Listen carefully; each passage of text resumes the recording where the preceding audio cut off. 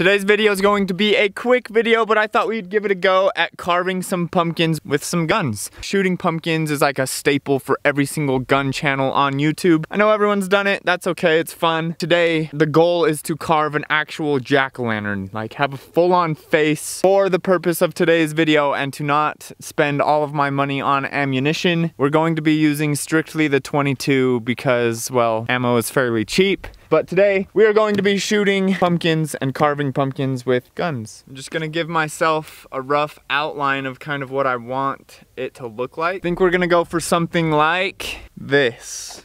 Can you see it? Big ol' egg-shaped eyes and a big ol' smiley face. So, I do have a lot of 22 bullets here, so I don't know how many it's gonna take to carve out this face, but let's just get to shooting. Here's how we're gonna do it. I still have the safe that we shot in the back of my truck. I'm just gonna set the pumpkin on there, be on this side, and start shooting at it.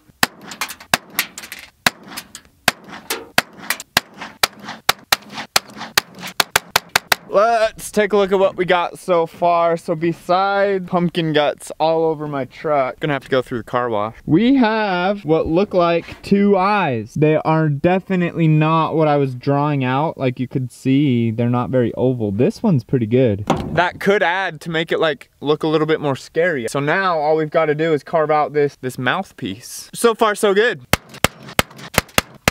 Also, yes, I do have a video planned where we're gonna put a bunch of pumpkins up against the normal guns, like the 50 cal, the 308, stuff like that, so stay tuned for that.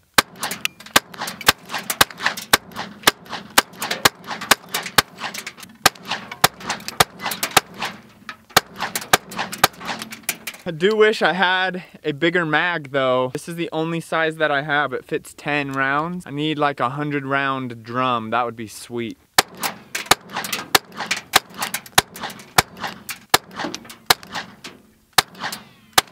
But just look at all this pumpkin guts everywhere on my truck. Hopefully with all those seeds on the ground, we grow a pumpkin patch for next year and we have free pumpkins to shoot at. Yeah, buddy, look at that thing. This thing is nice. That is a good, solid jack-o'-lantern. I mean, it's got some like scary sharp teeth down there. So yeah, it definitely smells like pumpkin and gunpowder. I mean, kind of, but not as pretty. That's the back.